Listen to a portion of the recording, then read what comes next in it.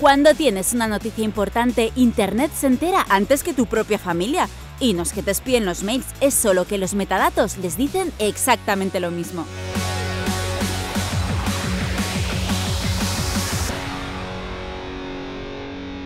Google sabe cuántos años tienes y si eres chico o chica, y esto se debe a que tiene acceso a todas tus búsquedas e intereses. Relacionando esos datos, se dan cuenta de que, por ejemplo, es poco probable que un chico compre tampones regularmente. Aunque, oye, hay gente para todo. Los metadatos pueden revelar nuestras creencias religiosas. Ni siquiera hay necesidad de buscar en Facebook, solo hay que plantear una pregunta.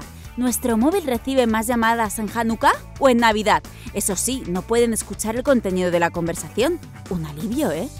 Los metadatos de tus llamadas, mails o mensajes pueden hacer una radiografía bastante exacta de tu círculo de amistades e incluso de tu familia.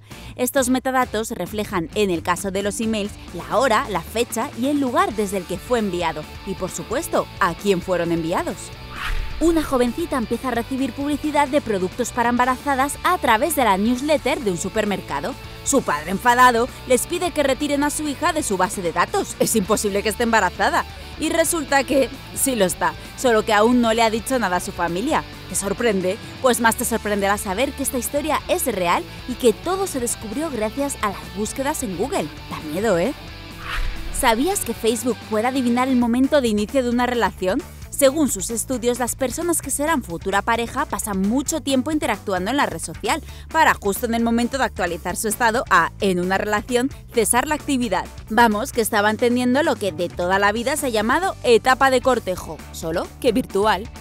A través de esos Aquí, pasándolo mal, que cuelgas en Instagram, los metadatos averiguan tu ubicación exacta, la hora a la que sacaste la foto y la marca de la cámara. Incluso pueden descubrir a través de tu teléfono la velocidad a la que has viajado. Eso sí, no tienen autoridad para tomar medidas.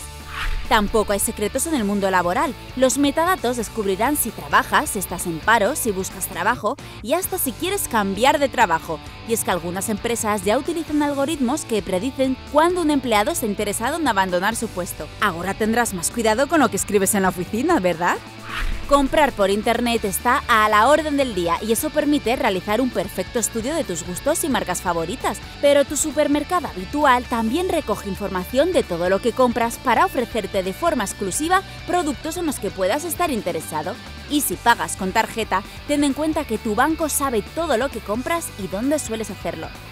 Al igual que te gusta publicar tus mejores posados de playa en Instagram, seguro que haces lo mismo con tu gato poniendo una cara adorable, tu gato durmiendo, tu gato sacando la lengua, tu gato pestañeando, sin recordar que estás revelando la ubicación exacta del gato y por consiguiente la tuya. Es fácil adivinar que alguien sufre depresión si se pasa el día buscando síntomas en Google. Y si alguien que ha recibido un mail con el resultado de sus análisis de sangre llama inmediatamente a su madre para más tarde mantener una larga conversación con su médico, es probable que no tenga buenas noticias. Lo dicho, los metadatos no leen tus mensajes ni escuchan tus llamadas, pero pueden sacar conclusiones mucho más claras que si lo hicieran.